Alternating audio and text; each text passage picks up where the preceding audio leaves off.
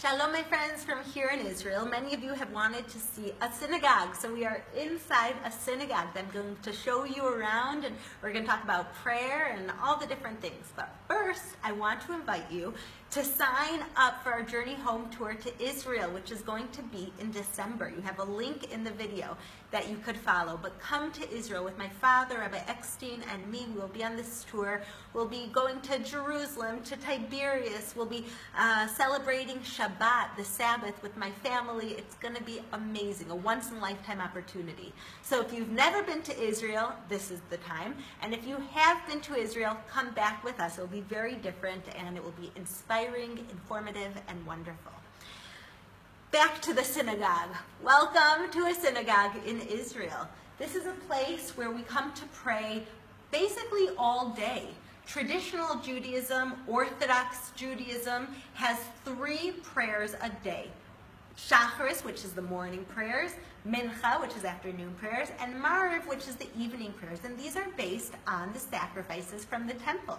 They used to bring sacrifices all day during the time of the first and second temple, but today we don't have sacrifices. And so the sages implemented prayer in place of sacrifices. So we have a prayer that we say for thanksgiving. We say a prayer that we say asking for forgiveness. We have a prayer for happy times, sad times, for everything you could think of, there is a prayer to go with it, just as they used to bring sacrifices. But there are the consistent prayers of morning, afternoon, and evening. And it's here in the synagogue that the community gets together, both men and women, to pray. Now, there are a lot of differences between an Orthodox synagogue or a conservative and Reformed synagogue. This is an Orthodox synagogue, and one of the main differences that you could see is right here, you could see the separation, or what is called a mechitza. You could see that this could be opened and closed, but this is the separation between the men and the women's side. The women sit over here, the men sit over here during times of prayer. Now, why would you do this? You do this because when you come into a house of prayer, you want to remember it's not a time to socialize. It's not a time to be talking and catching up and sitting with your husband and sitting with your friends. It's a time to pray to God. So once you leave the sanctuary, you could be talking and celebrating and catching up, but inside the sanctuary is a time that we remember we're focused on prayer and on God.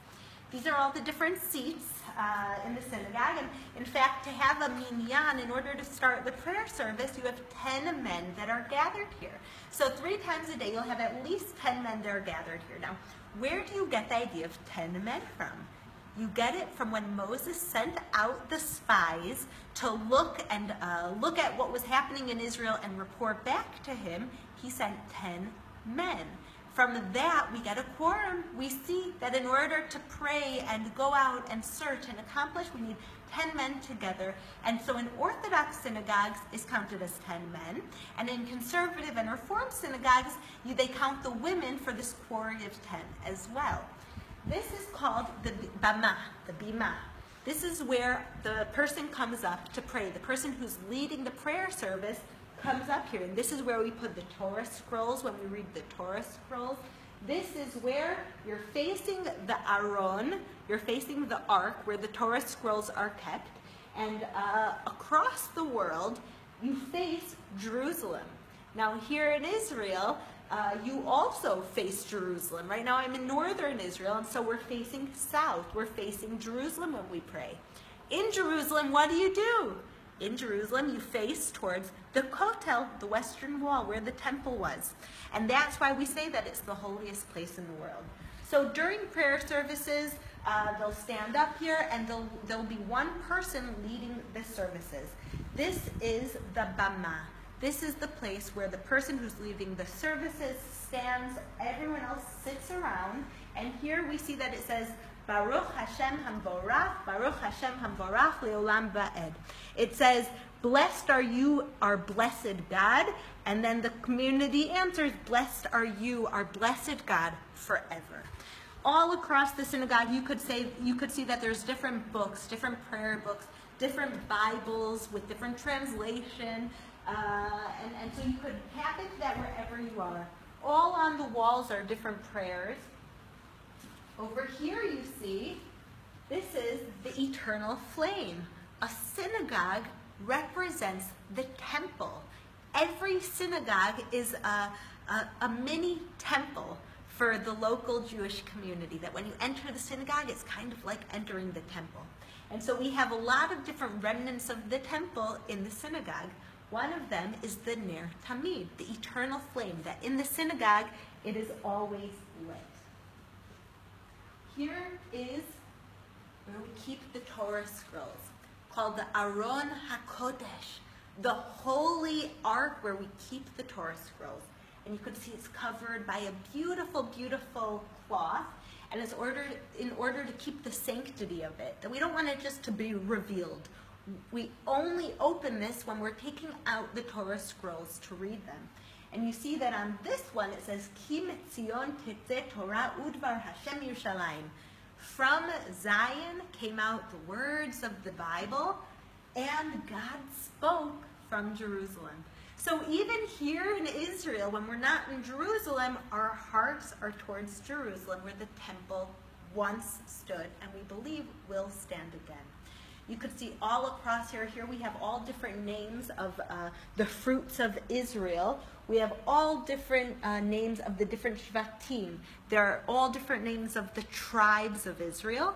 And, uh, and the attributes of faith surround us here so that we always remember You'll often see in a synagogue, it will say, Da lifnei omed. Remember in front of who you stand. That when you're standing in a holy space, never forget that you're standing in front of God. You could also see in this specific synagogue, uh, the women's section is also up on top, so the women could see what's going on.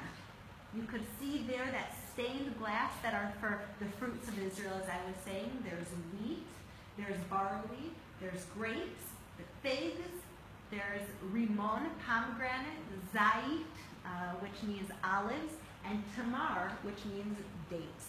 Everything here in the synagogue represents two things. It represents uh, the temple that once stood, and it represents Israel and the scriptures. And when you're in the sanctuary, you truly are standing on holy ground. So once again, I want to take this opportunity to invite you to Israel. Come see the synagogues that line every street of Israel. Come see the people of Israel. Come see the fellowship projects in Israel. Come walk the uh, paths of our forefathers. Join me and my father, Rabbi Eckstein, in December for the Journey Home Tour, which we did for you so that you can come to Israel. So follow the link get more information, and I will see you soon here in Israel. Shalom.